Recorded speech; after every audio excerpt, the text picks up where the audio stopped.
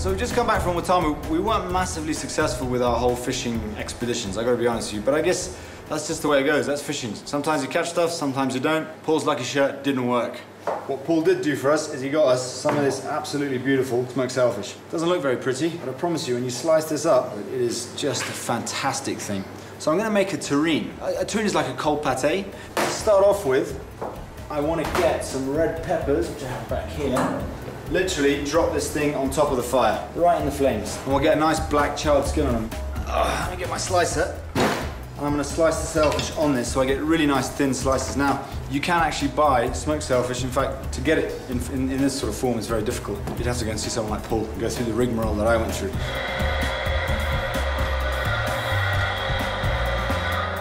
I've got my lovely slices of sailfish here on this cling film, and I'm just going to fold that over like that. Nice thin slices, give them to Mr. Sam, and stick them in the fridge now. This is one of the reasons Paul used all that, that thread and string to hold the sailfish together. It does get quite crumbly, and you get all these sorts of bits that have fallen off. Now none of these are going to go to waste. So I've got my lovely carpaccio there, and this is going to be turned into a beautiful mousse. Now before I go into that, my peppers are ready. You can see what I mean by black and charred. Get those into a bowl or a plate. The next thing to do, again, cover them with cling film, leave that there for five minutes. Sam will get the black stuff off for me. What's going to go into my mousse is mascarpone cheese. It provides a texture which is fantastic, creamy, smooth, delicious, light. It doesn't actually have a, massive amount of flavor. So it means you can add the texture to the dish without compromising the flavor and any flavors you want to get in, you can just add. First thing I want to do is get some zest off my lemons. Probably need the zest of half a lemon. If you don't have a zester, grater is absolutely fine. Make sure you only get the yellow bit. White bit's really bitter. Chop that up, get this sailfish into the food processor like that. I'm gonna throw my lemon zest in with it. I'm gonna get a little bit of fresh dill and mascarpone cheese. Now, for that amount, I've probably got half a tub of mascarpone cheese that's gonna go in there. So I'm just gonna blend this until I get the right consistency.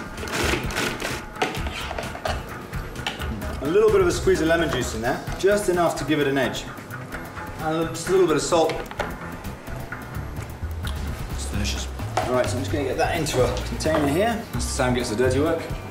You get that clean for me, Sam. So just get that in the fridge very quickly and get on with the rest of it. So I'm gonna make a rocket and horseradish mousse, again, using some mascarpone cheese. Some beautiful fresh rocket and just some creamed horseradish. This is really, again, super simple. Mascarpone cheese in, just gonna take my rocket, very roughly chop it. The creamed horseradish with the sweetness and that edge that it brings to everything you douse it in. A little bit of black pepper. I didn't put any black pepper in the first mousse. We'll add that dimension of flavor into this part of the mousse. So that's exactly what I want. I want to keep the rocket quite chunky in there so you get little pockets of flavor. Right, so that's my mascarpone rocket mousse ready. This can go in the fridge again just to chill. Again, putting it through the blender really heats it up and it loosens. I want it to be quite firm. Right now, my roasted red pepper. Then if you can see that, you wash all that charred black skin off and that's what you get there. Beautifully cooked, soft, and wonderful flavor. Take out the seeds, portion that into nice big slices like that. That's all the process is done that we need to throw this together. Now, I've got these two silly little ramekins. The first thing I need to do is line them again with cling film. What this does is it makes it very easy later on to turn it out. So the first thing I'm gonna do is line this one with sailfish, the whole outside. So I've got these beautiful bits of smoked sailfish we've been in the fridge chilling. Start by lining the bottom with some. Now, we need to line the sides. So we do that by actually putting the smoked sailfish and overlapping it so it falls out the side of the ramekin. We're gonna build into this now, the terrine. We've got sort of a lovely outer wrapping of this beautiful smoked sailfish carpaccio. I'll start with my mousse. I've got do, which mousse? We're gonna start with our horseradish and rocket mousse, which has chilled nicely now and it's set a little bit more. Get some of this mousse into the piping bag like that.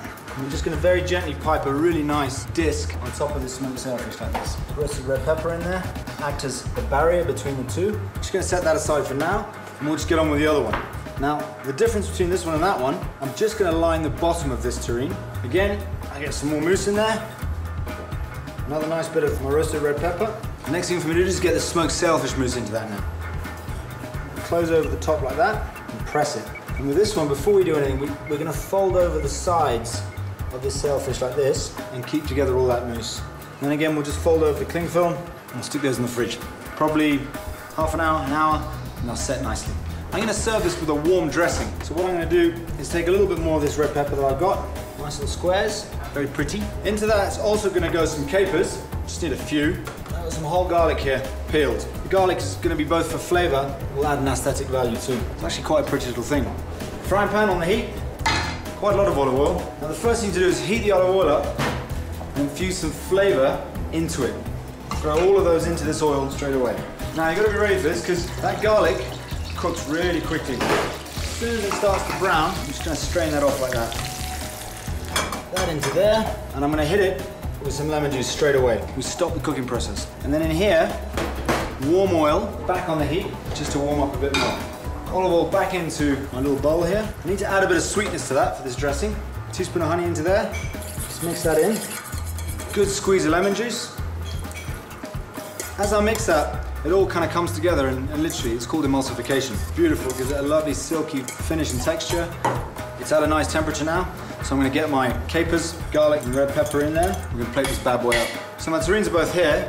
What I need to do now is actually turn these out. Now this is why I use this cling film.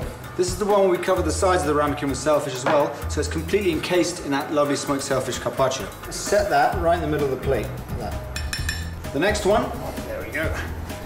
And that is our other one where we didn't cover the sides, so that you can see the layers with our two different mousses and the roasted red pepper. And it looks very, very, very pretty indeed. Quite happy with that. Dressing back on the heat quickly. If you overheat that, it'll split, you'll cook the lemon juice, it'll be a disaster. Let's get that back in there. Don't want to overheat it. Got some beautiful, super thin, sort of Melba toast cracker. We just put them in between a terrine. Now this is going to go on top of those like that beautiful warm dressing. Just gonna drizzle around the outside. And finish it with a lovely bit of dill. So there we have that beautiful terrine, smoked sailfish, mascarpone rocket, and horseradish mousse. Roasted red pepper, the crackers, that lovely warm dressing with the garlic, the roasted red pepper, the caper, all these lovely textures, layers, depth of flavor. That is an absolutely delicious dish. I'm very, very happy with it. I'm sure Paul will be very chuffed with that, and I can't wait to get stuck into it.